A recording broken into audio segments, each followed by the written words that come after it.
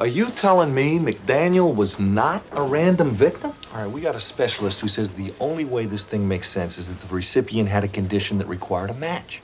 And McDaniel's kidney fits the bill. Well, he'd have to be tested to make sure, but uh, the problem is McDaniel swears from now till Sunday that he's never been tested. Grand theft kidney. Terrific. What about you? You got any theories? Devil worship? Alien beings? A cult wouldn't stitch the guy back up, and I imagine there'd be other organs of more interest than a kidney. Had to be for a transplant. That'd happen sooner or later. What did? Well, you don't think with these medical miracles they don't set up a whole new set of problems? Oh, what are we gonna do? Bury our heads in the sand?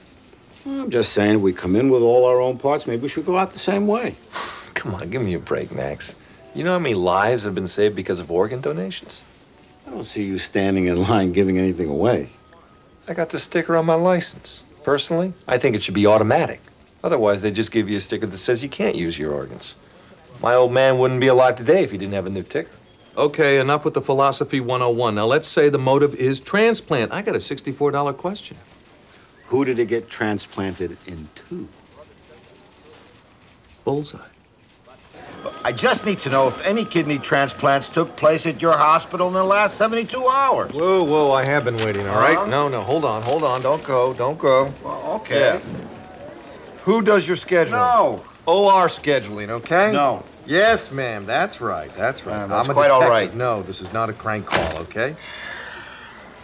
Well, could you just maybe find it for me? Huh? Could you? Okay, fine. Thank you. You know, what is with people these days? We got five at least. We got four. The one at St. John's took place at 3.30. McDaniel wasn't even in the park at that time. I hadn't been to see his daughter either. Four.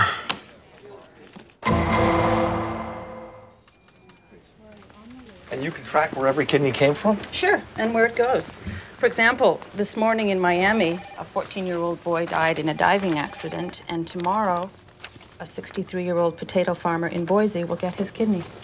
Unbelievable. Not really.